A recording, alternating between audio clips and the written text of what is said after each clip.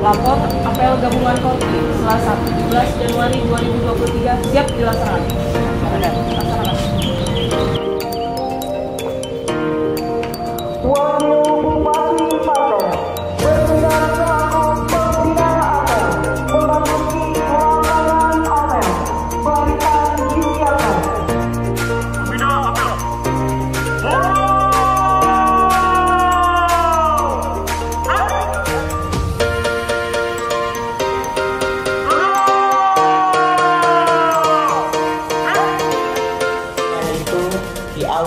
Tahun 2023 ini saya mengharapkan kembali sinergi yang telah kita bangun pada tahun-tahun sebelumnya dapat kita lanjutkan dan tingkatkan bersama-sama. Pada saudara sekalian, antara lain pertama,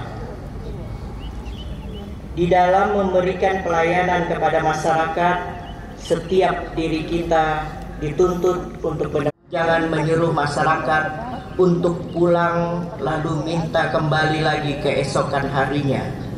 Pikirkan biaya, waktu, dan tenaga yang mereka gunakan untuk sampai di instansi saudara.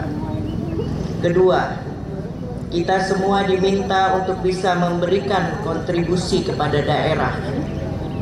Ingatkan diri kita bahwa saat ini kita sedang mengusung cita-cita mewujudkan masyarakat pasir yang maju, adil, dan sejahtera.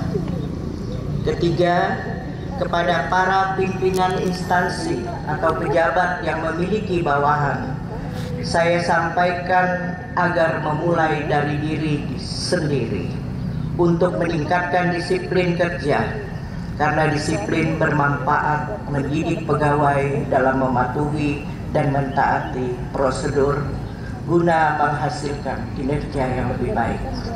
Silakan serius melaksanakan tugasnya. Jangan terlalu sering meninggalkan pekerjaan untuk sesuatu yang tidak penting.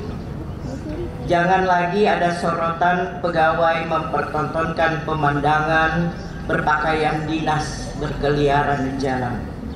Santai di pusat perbelanjaan dan nongkrong lama-lama di warung pada saat jam kerja. Semoga pemandangan ini bisa dikurangi.